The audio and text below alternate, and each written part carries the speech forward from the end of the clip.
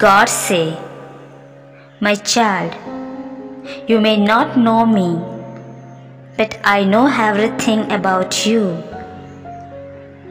I know when you sit down and when you rise up.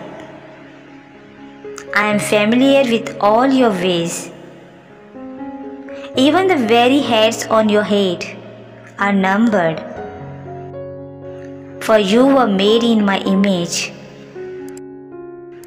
In me you live and move and have your being.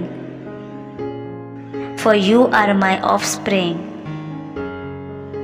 I knew you even before you were conceived. I chose you when I planned creation.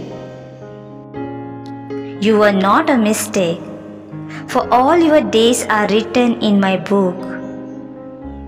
I determined the exact time of your birth and where you would live.